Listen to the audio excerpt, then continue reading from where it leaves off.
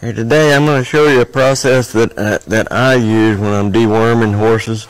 Um, first off, I'm going to start off by setting my dosage amount here so I don't have to do that when I've got it in his mouth. And then I'm going to just I'm going to just use it like a brush. I, I'm, I'm touching him with my fingers here, but I've got this in my hand so he doesn't associate me coming towards him with my hand in some kind of a threat. You know, so I, I'll get him to where he just really accepts that. I'd like for him to, to bring their nose to me just a little bit. And then right down here on the soft part of his, his muzzle, I like to have them where they'll let you rub on this. This is a real tender area and it's got all those sort of cat feeler hair around there so they're real sensitive about that.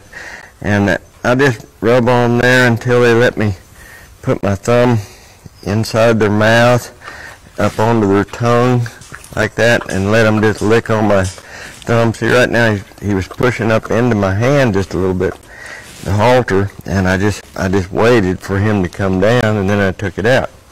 So I'll, I'll simply just take my my wormer here and place it alongside where my thumb was and then go into his mouth. Now if he if he really gets bothered and starts raising his head up like that, I'll just wait. I'm just waiting here. I'm waiting for him to relax a little bit.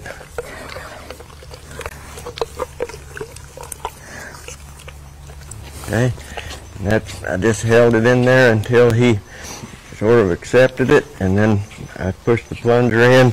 It was deep enough into his mouth that I didn't have to worry about it coming out, and he didn't get upset about it. In fact, he just, you know, chewed around on this and and uh, used it as a pacifier, so to speak. So that's a that's a way to keep these horses from getting head shy over a simple deworming process.